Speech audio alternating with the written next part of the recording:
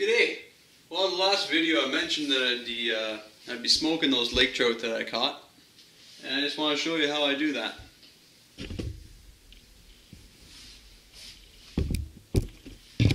Got them all chopped up there.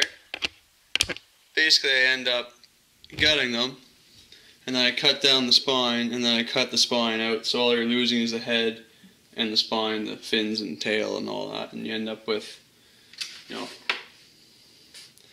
these nice pieces here.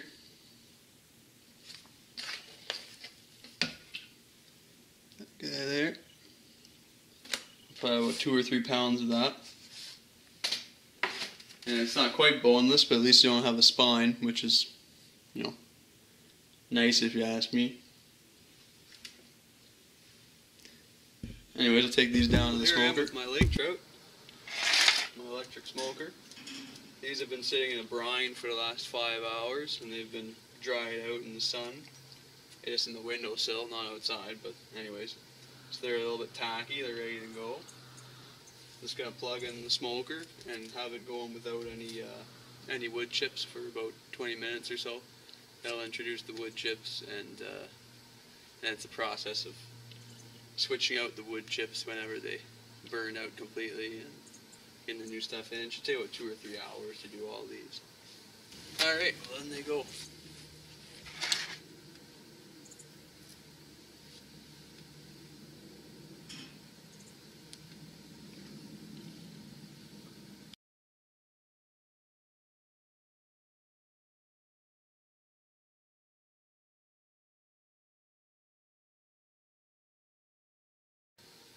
That's about its capacity there. And uh, for reference, I was about a five pound and a three pound trout.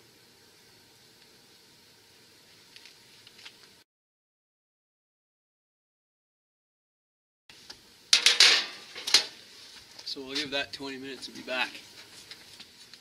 Alright, so 20 minutes have gone by.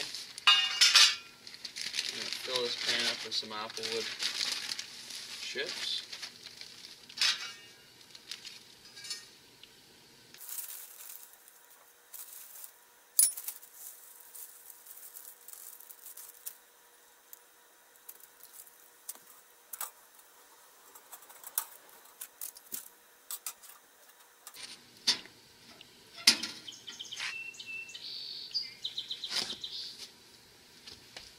Just started to smoke pretty soon.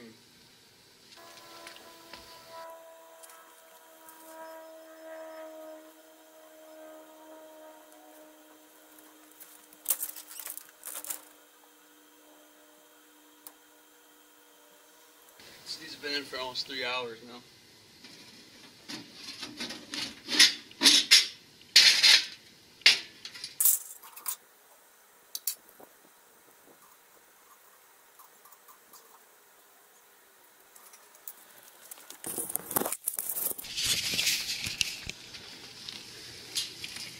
Yeah, it's nice and flaky. I would call those done.